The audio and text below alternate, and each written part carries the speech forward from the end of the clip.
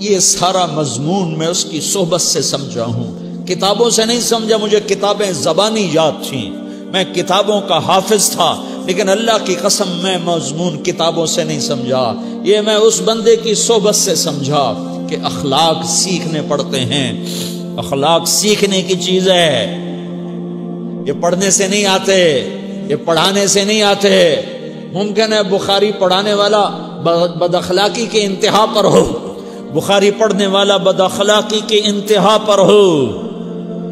कि ये चीज़ पढ़ने से नहीं आती, सीखने से आती है।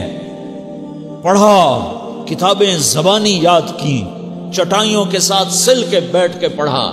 नहीं समझ में आए। एक हस्ती को देखा, एक अखलाक वाले को देखा, उसके साथ चंद सुबह गुजरी। चंद शामें गुजरी, जो मेरी ज़िंदगी का सबसे कीमती असासा है तो फिर मुझे पता चला कि अखलाक किसे कहते हैं? और अखलाक भी सीखने की चीज़ है, और अखलाक ही इंसानियत का नाम है। बद अखलाकी है तो इंसानियत नाम की शय कोई नहीं। मेरे रब को ज़्यादा तस्बीहात की ज़रूरत नहीं है। यूँ मेंबर पे बैठ के लंबी तकरीरों की मेरे रब को ज़्यादा ज़रूरत नहीं है। बिछ जाओ, पिट जाओ मिट जाओ, लुट जाओ और अल्लाह के दरबार में ऊँचा मकाम पालो। लोगों की सहना सीख लो, लोगों के जख्म सहना सीख लो। लोगों की लगाए हुए निश्तर, लोगों के लगाए हुए जख्म छोड़ दो रिश्ते के लिए, छोड़ दो घाव बनने के लिए, छोड़ दो उन्हें गहरा होने के लिए। ये जितने गहरे होंगे उतना तुम अल्लाह को महबूब नज़र आओगे। तू बचा बचा के ना रख इसे। तेरा आईना है वो आईना।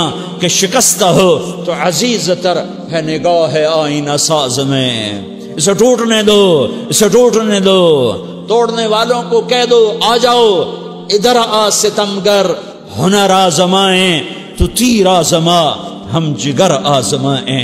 लोगों को बोलने दो, औरतों को बोलने दो, तुम सुनती जाओ और सहती जाओ और पीती जाओ और उफ ना करो और आह ना करो, तुम वक्त की राबिया बसरी होगी, तुम वक्त के जुनैद बगदादी हो गए बड़े बड़े मुजाहदों वाले और बड़े बड़े बड़े बड़े इबादत वाले बड़े बड़े इबादत के कुतब मीनार, अल्लाह की कसम तुम्हारी गर्द नहीं छू सक, तुम्हारी गर्द को नहीं पा सकते, तुम्हारी तुम्हें पहुँचना तो कहाँ है?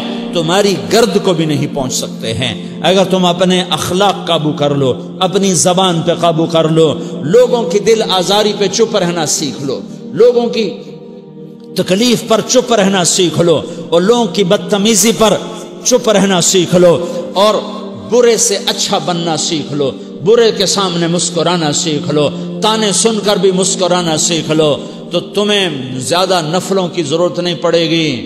तुम्हें लंबी लंबी तहजद की ज़रूरत नहीं पड़ेगी। तुम वहाँ पहुंचोगे, तुम वहाँ पहुंचोगे जहाँ कोई ना पहुँच सकेगा। तुम उधर जाओगे जहाँ कोई ना जा सकेगा। तुम्हारे मकामात को कोई पा ना सकेगा आखरत में, न दुनिया में, ना आखरत में। अपने अखलाक बनाओ अपनी आखरत को बनाना है तो इस नफ्स को पाकिजा करो। ये नफ्स पाक होता है दो बातों से, एक इबादत से, एक अच्छे अखलाक से। और ये गलीज होता है, नापाक होता है इबादत को छोड़ने से और बद अखलाकी का शिकार होने से।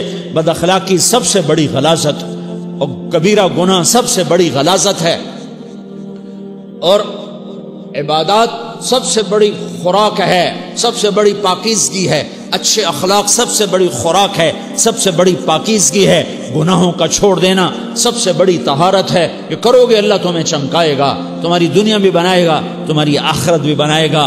ये अखलाक सीखने पड़ते हैं, इबादत को सीखना पड़ता है। अल्लाह के रास्ते में जाओ, अल्लाह के रास्ते में फिरो और अपने अखलाक भी बनाओ, अपना ईमान भी बनाओ, अपने किरदार को भी बनाओ और मरते दम तक ये मेहनत करते रहो करते रहो करते रहो।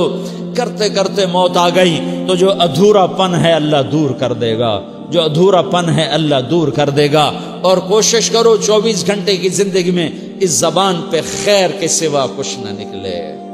तुम बेशक फ़र्ज़ नमाज़ पढ़ो तस्बीहात मसनू ना पढ़ो तो लंबे ज़िक्र ना करो लंबे कुरान ना पढ़ो लंबे नफल ना पढ़ो मेरी एक मान लो ये जबान पे काबू पा लो इस जबान को बंद करना सीख लो इसे होठों तले इसे दांतों तले दबाना सीख लो ये होठों के दर बंद करना सीख लो ये मदरसे के तलबा नज़र आ रहे हैं इनको शैतान कोई दावत देगा शराब पियो इनको कोई शैतान देगा, दावत देगा कि जुआ खेलो। इनको दावत देगा, गीबत करो। इनको दावत देगा, फला की बुराई करो।